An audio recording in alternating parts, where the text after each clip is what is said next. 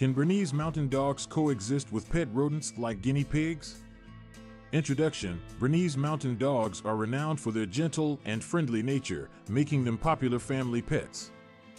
However, if you're considering adding a Bernese Mountain Dog to your household that already includes pet rodents like guinea pigs, it's essential to understand the dynamics between these animals.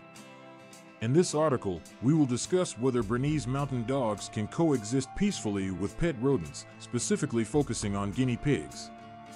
Understanding the breed, before delving into whether Bernese Mountain Dogs can get along with guinea pigs, let's take a closer look at this breed's characteristic traits.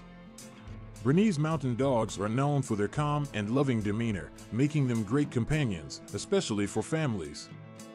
They are generally patient and good-natured, which can be advantageous when considering their compatibility with small animals like guinea pigs.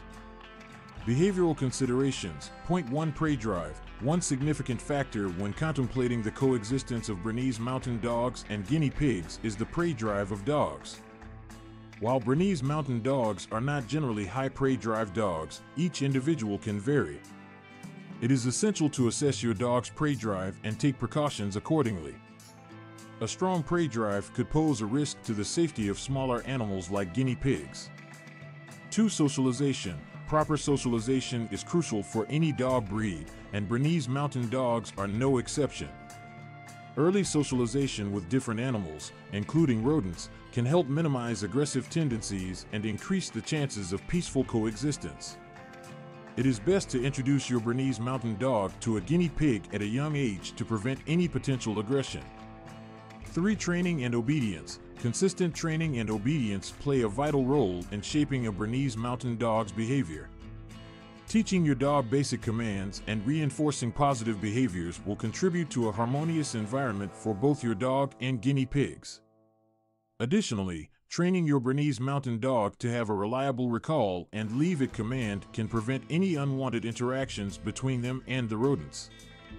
Creating a safe environment. Point 1 Housing. When considering keeping guinea pigs and Bernese mountain dogs together, it is crucial to create a safe and secure environment for both animals. Guinea pigs should have a spacious and sturdy enclosure providing ample protection from any potential threats. The enclosure should be out of reach for the dog, ensuring a physical barrier between them. 2. Supervision. Even if your Bernese mountain dog and guinea pig seem to get along well, it is vital to supervise their interactions at all times. Dogs can display unpredictable behavior, and accidents can happen, regardless of their friendly nature. Regular supervision will ensure the safety of both your dog and guinea pigs. 3. Separation.